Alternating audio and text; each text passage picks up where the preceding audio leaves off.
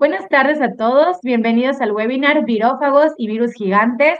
El enemigo de mi enemigo es mi amigo, impartido por el doctor en Ciencias Biomédicas con orientación en Inmunología, Francisco Josué Carrillo Ballesteros. Él es profesor investigador y sus líneas de investigación actualmente son bases inmunogenéticas de las enfermedades autoinmunes y biomarcadores en el estado de salud y enfermedad.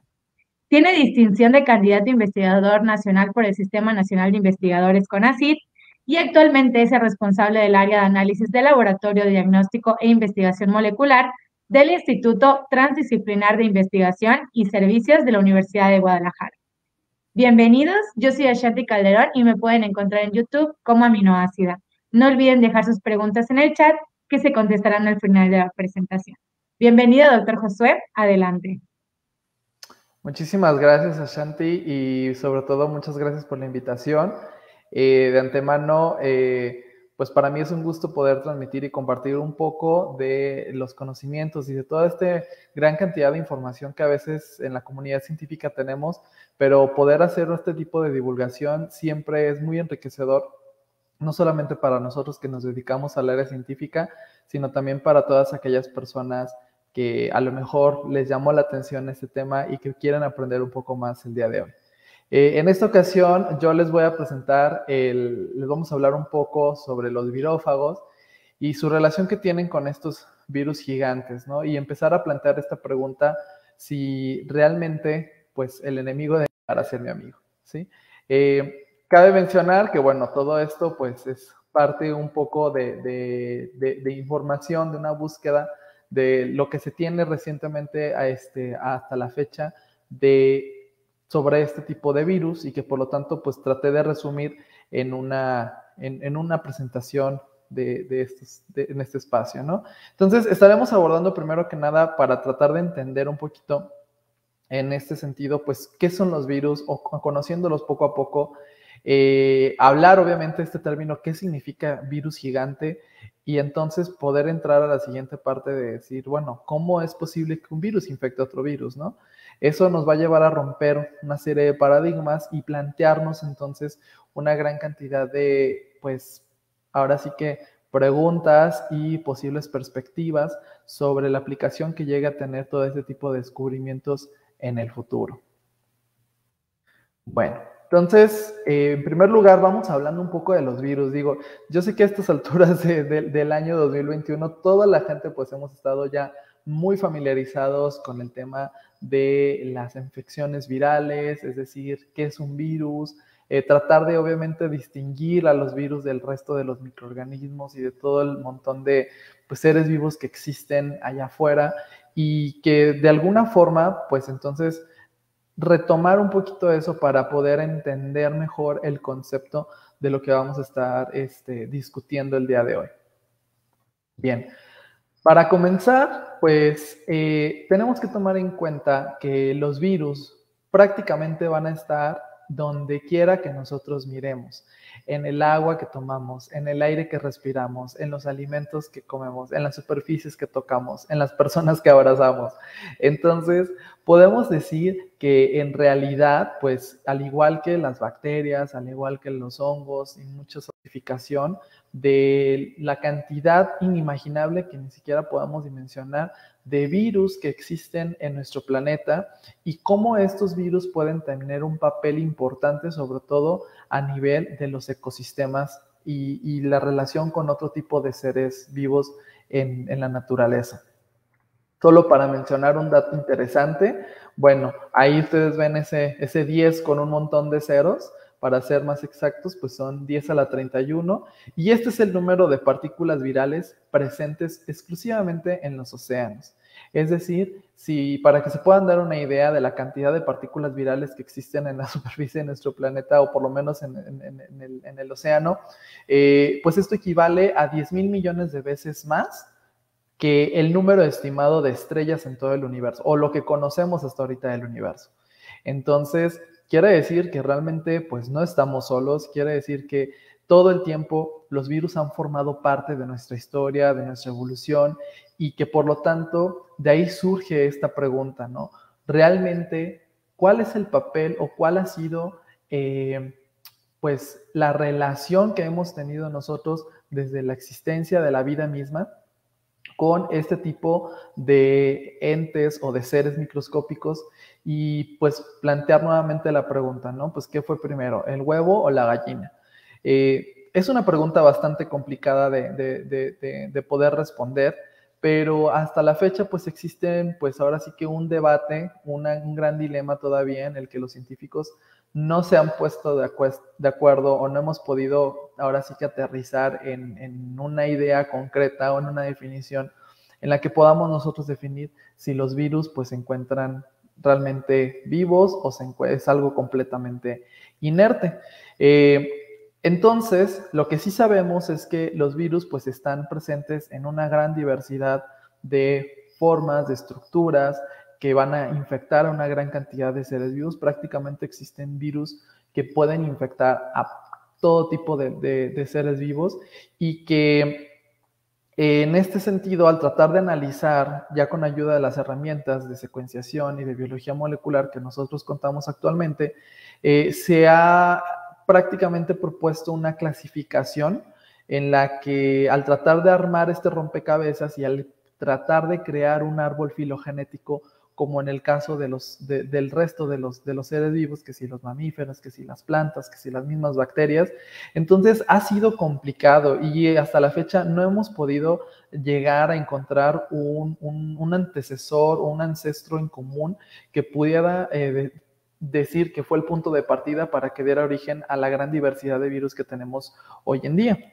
Eh, en la actualidad existe una instancia a nivel internacional que es el ICTV o International Comedy and Taxonomy of Viruses, que se encarga prácticamente de la sistematización y clasificación de los virus, el cual pues sufre muchas modificaciones y propuestas año con año, en el que este, de julio del 2021, es decir, la, última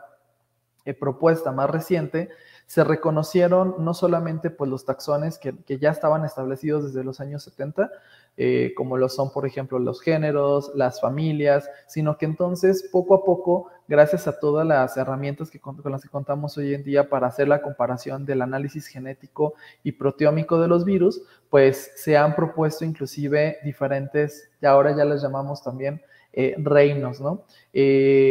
En inglés existe la, clasificación, son dos, niveles diferentes, dos, reinos, que para nosotros la traducción en español es igual, reino, que son realm y kingdom. Este, para ellos, pues bueno, ponen el kingdom debajo de los realms para tratar de hacer una analogía con los diferentes, este, con los dominios que, se aplica para, para los seres vivos y que eso nos ha permitido clasificar a la gran diversidad de virus en estos seis reinos que son el reino riboviria, que como el nombre lo está diciendo ribo, pues son virus que utilizan mecanismos de replicación directamente relacionados con el RNA. Y aquí, por ejemplo, podemos mencionar que e, e, entran en esta categoría los virus de RNA, como lo es el SARS-CoV-2, conocido ya por todos nosotros. Pero también existen eh, en segundo plano los duplo DNA virus, que son virus que tienen un genoma de DNA y que tienen dos doble cadena, ¿no? Es una estructura bicatenaria con una estructura proteica común y eh, aquí podemos encontrar muchos virus que también pues conocemos y que son importantes desde el punto de vista clínico, como los herpes virus, ¿no? Tenemos virus de DNA monocatenario, que como eh, algunos este, poliomavirus. Tenemos eh, en menor grado otro tipo de virus menos comunes, como los DNA virus, que son, este, comparten ciertas estructuras proteicas, eh, algunos virus filamentosos más pequeños que pueden infectar algunas arqueas, y algunos virus más eh, inusuales como los virus que solamente son RNA, los satélites, los viroides, etcétera, que ya entrarían en otra, en otra clasificación, ¿no? Pero entonces, hablando de esta gran diversidad que podemos nosotros llegar a encontrar en el tema del mundo de los virus, pues vamos hablando ahora sí de tamaños para tratar de establecer, pues, qué tan grande es realmente cuando nosotros decimos un virus gigante.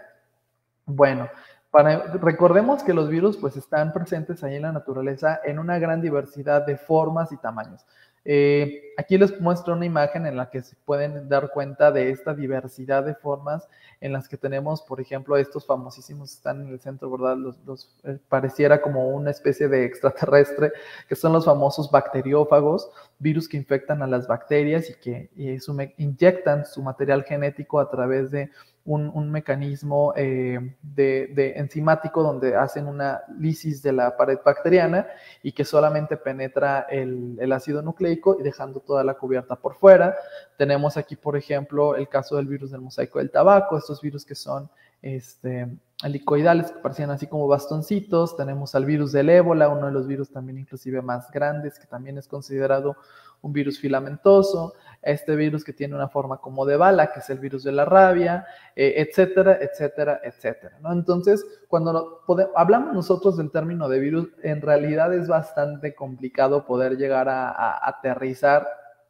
en una posible clasificación que nos permita a, generalizar sobre todo. O sea, hay que eh, tener en cuenta las características del hospedero, eh, las características de replicación, el tipo de genoma, etc. Por lo tanto, eh, uno de los descubrimientos más recientes que se tienen en el tema de este tipo de partículas virales, pues es justamente el, el descubrimiento, las observaciones que se hicieron desde 2003 en las que prácticamente se eh, descubrió el primer virus gigante. Nada más para ponerles a ustedes en contexto y para que más o menos lo vayan dimensionando, esta es una comparativa del tamaño que pueden llegar a tener los virus. Estamos hablando del orden de los nanómetros, es decir, son partículas microscópicas que ni siquiera podemos observar en algunas ocasiones con un microscopio óptico. Necesitaríamos aquí la utilización, la mayoría de las imágenes que tenemos de los virus pues son tomadas con microscopía electrónica que pues tienen una alta resolución y que nos permiten eh, distinguir estos, estos detalles en algunos casos. Entonces, llegamos a tener virus muy pequeños como los parvovirus que llegan a tener un diámetro de 20 nanómetros, algunos virus de la hepatitis que están entre los 30 y los 50 nanómetros, el papilomavirus, que son los 50 nanómetros, rotavirus, 80, influenza, 100 nanómetros, el SARS, por ejemplo, que obviamente es más o menos del mismo tamaño del SARS-CoV-2, 120 nanómetros, VIH 120 también, el virus de la rabia, que también es un poco más alargado, el virus, los virus de herpes, que son de los virus más grandes, eh, que, tenemos y pues en comparación, por ejemplo, con el virus del ébola, ¿no? Eh, entonces, podemos decir que en este sentido, pues si se fijan el tamaño promedio de una partícula viral, pues podríamos decir que está entre los 100 y 200 nanómetros aproximadamente. Bueno, entonces, cuando hablamos del término virus gigantes, ¿a qué nos referimos? Pues obviamente estamos considerando que son virus pues de un tamaño superior al promedio y que en un principio, de hecho, cuando se descubrieron, fueron confundidos con bacterias gram positivas. De hecho, se pensaba, o sea, porque inclusive se alcanzaban a visualizar en un microscopio óptico. Estos virus fueron descritos por primera vez en 2013, el primero de ellos, el famoso Mimi virus, eh, que, se, que después se descubrió que pues era responsable de infectar inclusive algunas amibas de vida libre, como por ejemplo las del género Acantamiba, y que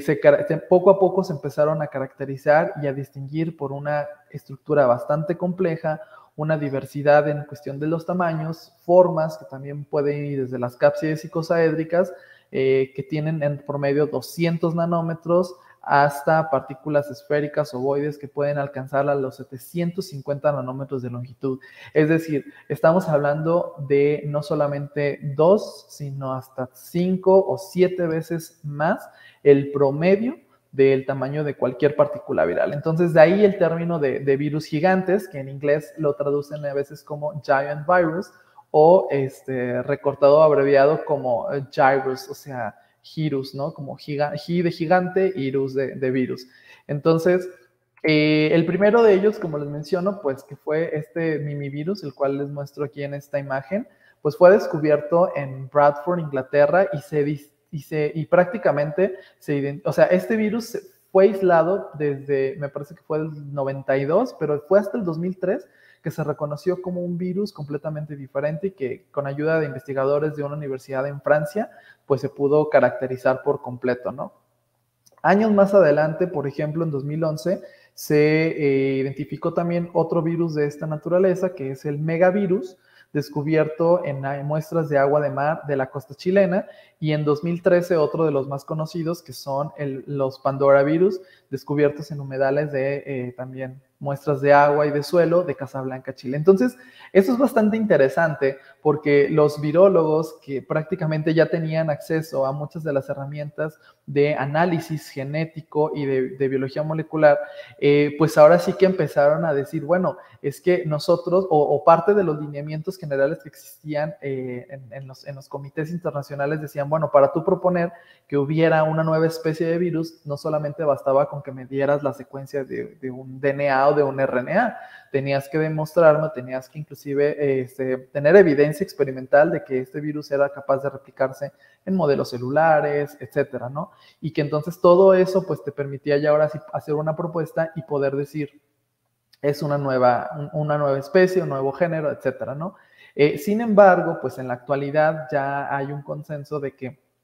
pues las herramientas que tenemos son tan sofisticadas que inclusive pues ya es suficiente proponer la secuencia viral y que entonces pues al hacer comparación con diferentes bases de datos genómicas que ya se tienen pues este pues muy bien caracterizada, es decir, que realmente esa secuencia que estoy proponiendo corresponde a un, nuevo ente, ¿no? Y, esto sí fue interesante porque a partir de estos años, o sea, prácticamente a partir de la década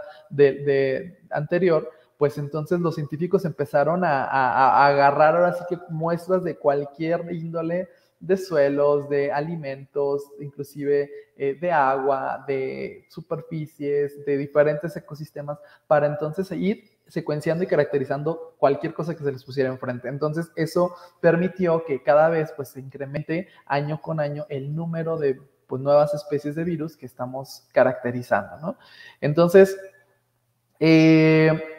Haciendo ahora sí la comparativa, ¿no? En cuestión del tamaño, pues justamente si se fijan, este es uno del el, tamaño promedio de un, de un mimivirus que tiene aproximadamente 400 nanómetros de diámetro y que pues obviamente pues es muy grande en comparación con otros virus que les, que les he acabado de mencionar, ¿no? Entonces, realmente, eh, a, pesar de que la primera de las características que llama la atención pues es obviamente hablar del tamaño, ¿qué pasa con estas secuencias? ¿Qué pasa con estos genomas? ¿Para qué es lo que realmente codifican eh, sus ácidos nucleicos? Y realmente este tipo de virus gigantes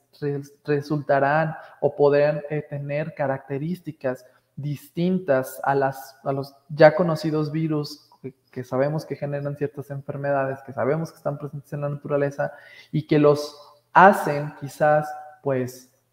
que, o, que les brindan características que nos hagan pensar que realmente están más cerca de la vida que de lo inerte. Entonces, ese tipo de preguntas es lo que todavía pues sigue investigando y que estamos ahora sí que eh, pues en, en, pañales, ¿no? En este sentido. Entonces, ahorita todavía estamos en la, en la etapa de caracterización, de aislamiento, de identificación, pero realmente es muy poco lo que sabemos con respecto a la función que llegan a tener muchos de estos genes eh, de este tipo de virus. Eh, entonces, ¿qué, otro tipo de características podemos describir? Bueno, conforme se fueron dando este tipo de descubrimientos y la propuesta de decir, bueno, es que también aquí hay otro tipo de virus, aquí está otro y acá está otro, solamente que antes pues no los volteábamos a ver, entonces se fueron agrupando en, un, en una categoría de virus de DNA nucleocitoplasmáticos grandes, ¿no? En inglés las siglas NCLDV, que eh, pues todo este tipo de, o sea, tenían en común su tamaño, la estructura, la longitud y la complejidad del genoma, que pues eran muy diferentes del resto de las partículas virales. Eh, en la propuesta original, el grupo estaba formado por algunas de estas familias, la familia Poxviridae, Asfaviridae, Iridoviridae y Ficodenaviridae. ¿sí? Eh, estas familias pues se caracterizaban, una de las razones que tenían en común era justamente la presencia de DNA bicatenario, en los cuales pues tenían la capacidad de replicarse parcial o totalmente en el citoplasma de las células hospederos, las cuales eran, la mayoría de estas eran células eucariotas y que también compartían ciertas similitudes genéticas que apuntaban precisamente a un hipotético común, es decir, a un ancestro hipotético eh, que, en común. Eh, por lo tanto, bueno, el descubrimiento de los mimivirus pues sentó las bases, o sea, empezó a abrir el, camino para tratar de aislar e identificar otro tipo de virus gigantes con el desarrollo de nuevas técnicas a nivel molecular principalmente, en las cuales ya no solo estábamos o no dependíamos nada más de la microscopía como tal, sino que ahora teníamos eh, herramientas de secuenciación masiva, secuenciación de nueva generación, que nos permiten hacerlo pues mucho más fácil, más eficiente y más económico, ¿no? Eh, entonces, pues poco a poco se fueron sumando a la lista diferentes eh, virus, como los Marseille-virus, los Fastovirus, los Pandora-virus, Cedrat-virus, Paito-virus, Orfeo-virus, Molivirus, Pac-Man-virus, y así es, Pac-Man-virus, le pusieron el nombre en honor a Pac-Man, y los Caema-virus. Entonces, eh, ahora sí que este tipo de descubrimientos pues empezó a plantear o a replantear las bases de la clasificación taxonómica que se tenía hasta ese entonces y se propuso un nuevo orden viral llamado los megavirales, ¿no? Obviamente el prefijo, prefijo mega por el tema del, del tamaño. Y entonces, ¿a quiénes, son, ¿a quiénes son las células hospederas o a quiénes infectan estos virus gigantes? Bueno, una de las de lo que sabemos o de los primeros este, hallazgos que se empezaron a tener con la identificación de algunos de estos virus es que eh, infectaban a células eucariotas u organismos unicelulares eucariotas, como por ejemplo algunas amibas de vida libre. De hecho, eh, del mimivirus, que fue el primero que se descubrió en, en, 2003, eh, es, su hospedero es una acantamiba polífaga sí, que es una, una amibada que se encuentra presente en, el, en, ríos, lagos, etcétera, y que entonces, pues bueno, se replica como tal. Las amibas, recordemos, pues que sí son eh, seres unicelulares que alcanzamos a distinguir en el microscopio óptico. Entonces, si tenemos la suficiente resolución este, como tal, pudiéramos llegar a alcanzar a ver algunas de estas partículas dentro del citoplasma de la célula de la célula hospedera. Entonces de ahí que también pues llame mucho la atención y que pues claro que en algún inicio se pudieron haber confundido con alguna otra bacteria. Eh, algunos otros de las células hospederas ejemplos de estos hospederos los encontramos por ejemplo en algunas algas como las algas del género clorela, micromonas y ostrocopus. Entonces, poco a poco se fue incrementando la información y se fueron describiendo este tipo de virus y se describió posteriormente que había algunos casos de estos virus gigantes que presentaban ciertas alteraciones en cuestión de su ciclo de replicación y en cuestión sobre todo de, eh, pues al tratar de, de, poder comprender la capacidad que tenían estos virus para, pues, infectar, o porque entender su, su, maquinaria para poder infectar a la célula hospedera, pues se descubrió que algunos de estos virus estaban o sufrían un proceso de infección por parte de otro virus, ¿sí? Y ahí entonces es cuando se describe el término de los virófagos. Entonces, los virófagos fueron eh, aislados por primera vez en este tipo de células hospederos que ya estaban infectados con algunos de los virus gigantes y que entonces se vio ahí una especie de coinfección, por así decirlo. Estos virus, pues eran, virus de un tamaño mucho menor, un poquito más, este, pues ahora sí que eh, similar a lo que tenemos nosotros pues, por medio de los otros virus que les mostré al inicio y que codificaban también alrededor para de 20 a 34 proteínas. Por lo tanto, podríamos llegar a considerar que el término virófago pues se utilizó pues de forma, eh, haciendo una analogía a los bacteriófagos, es decir, estos virus que infectaban o que se comían pues como tal a las bacterias, pero que entonces se podría, podríamos decir que los virófagos son parásitos de los propios virus gigantes que secuestran y que se apropian también de la maquinaria esencial para la replicación del virus, o sea, que, está utilizando el virus gigante para utilizarla a su favor, ¿no? Entonces, aquí les puedo eh, mostrar eh, dos rutas o dos posibles mecanismos de entrada que se han descrito para, para dos, dos, virófagos en particular. El primero de ellos, el que está en color azul, bueno, el, el, virus que ustedes alcanzan a ver en color azul es, es el virus gigante y que en asociación, por ejemplo, con las partículas que están en color rojo, esos son los virófagos. Uno de estos es el virófago Sputnik, que eh, entra justamente en un mecanismo de, pues, simultáneo al momento de la entrada del, en este caso son los, los mamavirus,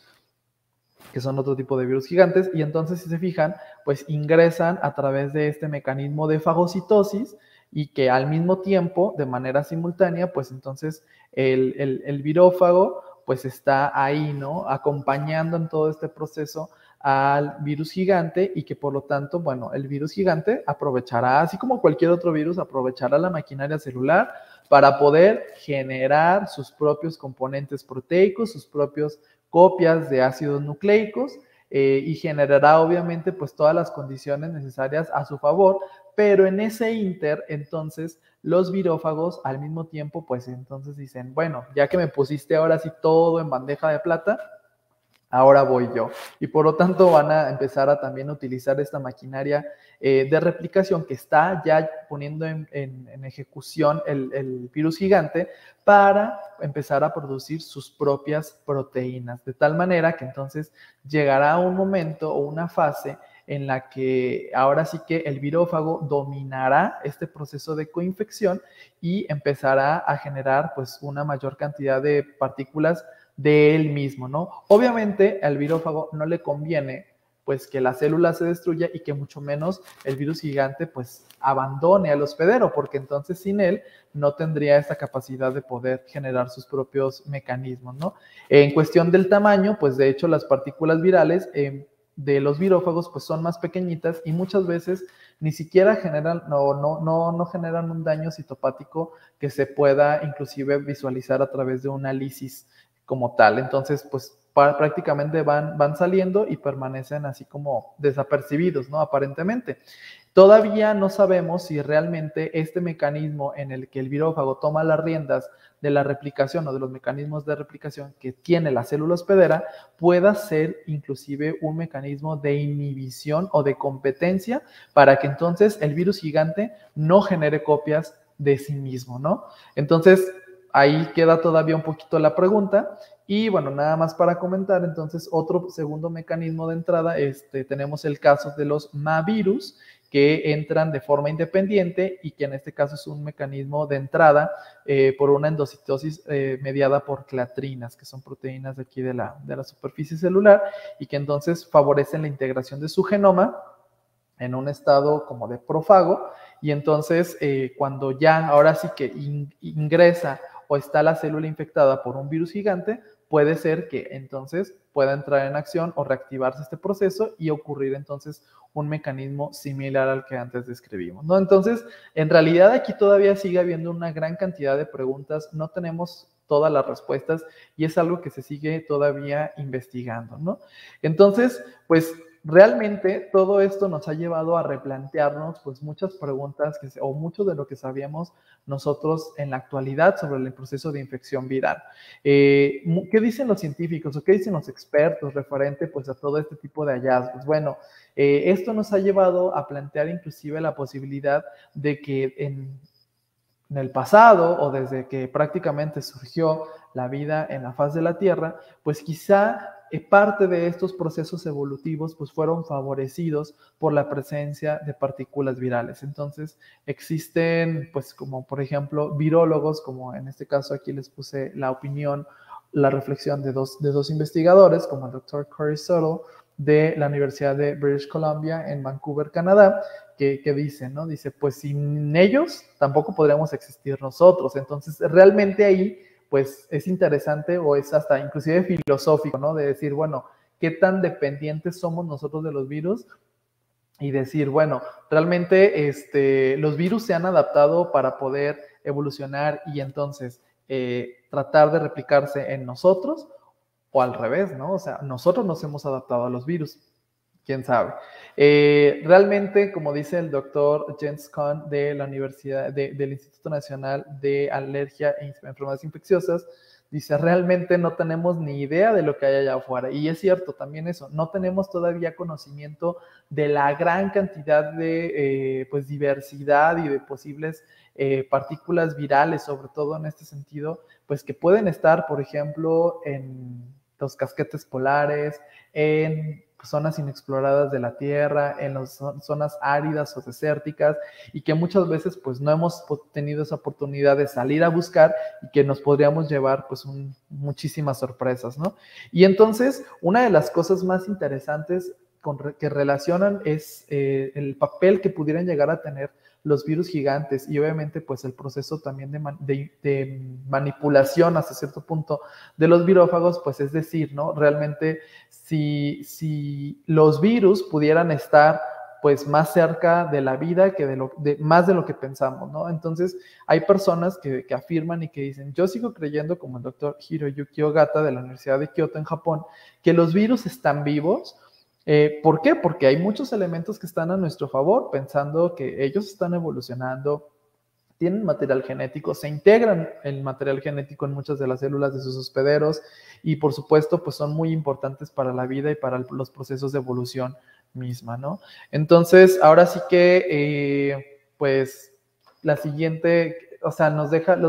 les comparto todo este tipo de información para, eh, como un ejemplo de que en realidad pues no, no sabemos todo todavía y que nos hace falta mucho por conocer, por investigar, por descubrir. Sin embargo, pues todos estos antecedentes y estas bases pues nos pueden llevar a plantearnos el escenario que viene para el futuro, ¿no? Entonces, eh, de entrada, lo que yo les puedo como, les dejo así como de reflexión a toda la audiencia que nos está acompañando, es que eh, por una parte, bueno, en este tipo de virus, tanto los virus gigantes como los virófagos, y por esa peculiaridad que tienen para asociarse a ciertos microorganismos causantes de graves neumonías, por ejemplo, sabemos que hay muchas amibas, sobre todo de este género acantamiba, que pues son responsables de este, casos de meningitis o, por ejemplo, afectaciones pues a nivel del sistema nervioso central, pues pudiera ser que quizás algunas de estas amibas estén infectadas con estos virus gigantes o esos, esos virus gigantes a su vez por virófagos, que quizás haya una relación, por ejemplo, con un pronóstico negativo en los pacientes en la clínica no sabemos, ¿no? Porque todavía no nos hemos metido a investigar ese terreno y solamente hemos descrito al agente teológico, pero no teníamos ni la más mínima idea que dentro de esos, de esos microorganismos podrían existir inclusive otros virus o pues, eh, invadidos todavía por, por, otros virófagos, ¿no? Entonces, este, esto nos lleva también a plantearnos la segunda pregunta o la segunda, eh, pues, reflexión sobre si eh, este tipo de virófagos pudieran tener alguna aplicación ¿no? en biología o en, en, la salud, en la medicina. ¿Por qué? Porque ya sabemos hasta la fecha que existen propuestas de utilizar, por ejemplo, bacteriófagos para el control de las infecciones bacterianas y eso podría llegar a resolver o a, hacer una posible solución, un rayito de esperanza para este problema tan grande que tenemos en la actualidad como lo es la resistencia antimicrobiana por el mal uso o el uso indiscriminado de los antibióticos, ¿no? Entonces, si tenemos el conocimiento de que existen virófagos, ¿verdad? Que pudieran infectar de esta misma manera a otro tipo de virus, o a lo mejor no al virus como tal, pero sí competir con las células hospederas o modificar genéticamente algunos de estos virófagos para que expresen ciertos genes que compitan eh, con, la infección que se está dando en una célula hospedera, entonces pudiéramos proponerlo como una especie de terapia o un, un mecanismo pues este, que en lugar de utilizar antivirales o fármacos que vayan dirigidos a interrumpir un proceso de infección viral, pues tenemos propiamente dicho a otro virus o a otro ácido nucleico que está compitiendo por los mecanismos de, este, de replicación del hospedero. Entonces, nos hace falta ahora sí que un montón de, de información, de hallazgos, de evidencia, pero la posibilidad ahí está. ¿Sí? Y bueno, desde el punto de vista evolutivo, pues dada la sospecha de que como tal no hemos podido encontrar quizás un, ancestro en común para, para, todos estos virus y las clasificaciones que se han llegado a presentar, es probable, o los, los, biólogos que se encargan de estudiar todo este tipo de, de teorías evolutivas, pues también inclusive han llegado a sugerir que los virus han logrado aparecer en diferentes momentos de la historia. No necesariamente tiene que haber un ancestro en común, sino que en realidad pudieron haber surgido pues, por sus características. O sea, hay virus que son muy diferentes unos de otros y pues a lo mejor no es tanto hallar un ancestro o un origen, sino que a lo mejor pudieron haberse generado por otro tipo de mecanismos eh, de forma espontánea en distintos momentos de la historia de la vida en la Tierra. Y eso entonces también nos lleva a la posibilidad o a plantearnos ahora sí que pues si esto logró ser en algún momento de la evolución, pues no existen razones para pensar que la emergencia de nuevas especies no pudiera ocurrir de nuevo, ¿no? Y más pues todo este tema de, lo que hemos estado experimentando ya en estos meses, ¿no? Eh, por ende, pues el acelerado descubrimiento de los nuevos virus ha revelado un nuevo panorama o un nuevo escenario sobre cómo los virus también empiezan a impactar no solo en los seres humanos o como agentes causales de enfermedades, sino directamente en el control de las especies, de bacterias, de amibas, de hongos, de parásitos, de otros animales o plantas, y que entonces van a ir modelando inclusive eh, los, ecosistemas, ¿no? Eh, todavía no hemos podido, por ejemplo, identificar o no, no hay evidencia de cómo en realidad este tipo, haya virus que puedan formar parte de esta naturaleza, pues que formen parte del viroma humano. Entonces, ahí también esa es otra pregunta de investigación. Y como tal, bueno, pues sabemos perfectamente que los virus pueden llegar a, a, influir de muchas maneras, ya sea transfiriendo, por ejemplo, genes de resistencia en caso de algunos bacteriófagos, ¿sí? Entonces, este tipo de transferencias, este tipo de, interacciones que pueden llegar a estar presentes en el caso de, los mecanismos de replicación viral en, llámense el virus que quieran o del tamaño que quieran, entonces nos hace plantearnos que la evolución puede, o sea, el eslabón perdido puede estar precisamente en, en este tipo de, virus, ¿no? O en alguno de los ancestros que todavía pues no se han logrado, eh, ahora sí que no hemos logrado completar el rompecabezas, pero pareciera ser que ahí hay una, una posibilidad de, tener mayores respuestas, ¿de acuerdo? Entonces, pues bueno, yo pues este, les, les planteo, aquí está, esto es también parte de, de otro artículo, que me pareció muy interesante, en el que justamente de ahí tomé la inspiración para el título de la charla, ¿no? Realmente, o sea, si sabemos que los virus, pues que finalmente son nuestros enemigos, pueden llegar a infectarnos y generar algunas enfermedades en nosotros, los seres humanos, entonces pudiera ser que este virófago, ¿verdad? Existe esa posibilidad, o sea, por eso queda la pregunta al aire, ¿no? Realmente, si este virófago, que es el enemigo de este enemigo, lo podríamos usar a nuestro favor o podríamos ayudarnos para controlar inclusive algunas enfermedades o algunos procesos a nivel evolutivo o ecológico. Quién sabe, ¿no? Entonces ahora sí que este, están los elementos, están ahí todas estas eh, piezas de un gran rompecabezas y por supuesto, pues el día de mañana eh, a nosotros nos tocará ir tratando de dar respuesta a todas estas interrogantes, ¿no? Entonces, pues bueno, pues de mi parte agradezco muchísimo su atención, agradezco mucho el haber compartido por unos minutos este, esta información, este conocimiento y quedo aquí al pendiente por alguna duda o alguna pregunta que exista por parte del público. Muchas gracias. Hola de nuevo, Josué. Muchísimas gracias por tu presentación. Definitivamente es un tema prácticamente nuevo. Digo, no tiene ni 20 años que, que se descubrió el primer virófago, el virus gigante. Entonces, pues es un tema novedoso y pues muy interesante. Em, te agradecemos por tu tiempo y por, tu, por tus conocimientos también. Em, yo quiero hacer aquí algunos, algunos comentarios y es que eso que mencionas sobre la evolución de los virus a mí se me hace súper interesante. Y una pregunta, o sea, un comentario que bien o sea, vi en un video y aparte leí un artículo por allá, es cómo poder catalogar a un virus como no vivo. O sea, nosotros lo catalogamos porque según nosotros, pues no tiene una maquinaria completa como la conocemos, que la tiene la mayoría de los organismos que consideramos vivos, ¿no? Pero justamente como un ser no vivo puede parasitar a otro ser no vivo. Entonces, Sí, hay muchísimas preguntas que yo creo que se están respondiendo ya desde el momento en que se, que se comenzó a, a, que se descubrió esto. Entonces, yo tengo una pregunta. ¿cuáles son los hospederos de los virus gigantes? Sabemos que los virófagos parasitan a los virus eh, gigantes, pero los virus gigantes, ¿qué parasitan? Ok, eh, por lo menos los primeros que se empezaron a descubrir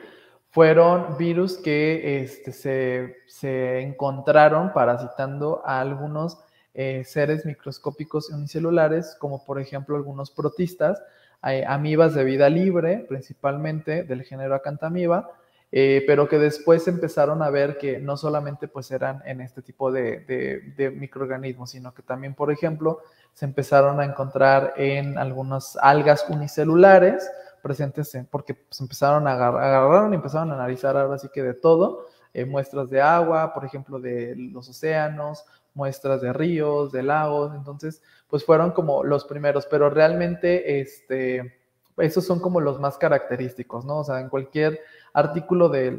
aunque sean del viejitos, ¿no? Del 2000, del 2010, del 2011, pues van a, van a hablar todos estos de que, pues mencionan el caso muy particular, por ejemplo, del mimivirus, que es el que más sabemos, porque pues fue el que primero se empezó a, caracterizar, pero pues son prácticamente estos. Eh, no he revisado, desconozco si haya, por ejemplo, virus gigantes que puedan infectar a, por ejemplo, a plantas o, por ejemplo, a mamíferos o inclusive a las propias bacterias, pero este, pues estos son los, los clásicos como tal. Claro, está, está muy interesante, ¿no? También el mecanismo de, replicación que nos explicaste hace un rato. Bueno, hay una pregunta por parte del público que dice, por parte de Bererit Carmesí, y es muchas gracias Francisco, muy interesante. ¿Algún artículo que habla acerca del rol de los virus en el ecosistema? Sí, de hecho, parte de, digo, ya no alcancé que agregar aquí las referencias, pero existen una gran cantidad de eh, información referente a ustedes ahí sobre los virus gigantes. Eh, simplemente si ustedes escriben así en los buscadores Giant Viruses, les van a salir una gran cantidad de información. Todo es pues relativamente reciente, les digo que ahora sí que del 2010 para acá. Hay un artículo que, por ejemplo, nos menciona, eh, este es muy reciente, de hecho lo encontré nada más así como las las, galeras, pero supongo que está en proceso de publicación. Pero hay un artículo eh, cuyo autor es Nino Barreat este, y Aris Katsourakis, que nos menciona la evidencia de, dice, e, evidencia por un mil, millones de años entre los virus, los virófagos y las células eucariotas. Entonces ahí habla un poquito como de, la, de las relaciones que les menciono, donde pues a lo mejor ahí es donde hay un, un poco más de, pues o sea, no tanto un sinergismo, sino más bien como una dependencia, una relación ahí, simbiosis que se puede llegar a presentar, pero como tal existe una gran cantidad de, información, ¿no? Entre, pues ahora sí que de todos estos virófagos o de, las, de los virus gigantes. Muchísimas gracias. Eh, bueno, eh, eh, Josué, te agradecemos nuevamente tu tiempo y tus conocimientos. Eh, muchísimas gracias a toda la audiencia que nos estuvo viendo en vivo. Recuerden que este video se queda en la página de Facebook de Bioquímica y Biología Molecular y también en mi canal de YouTube Aminoácidos. Entonces, nos vemos el siguiente martes con otro webinar y hasta luego.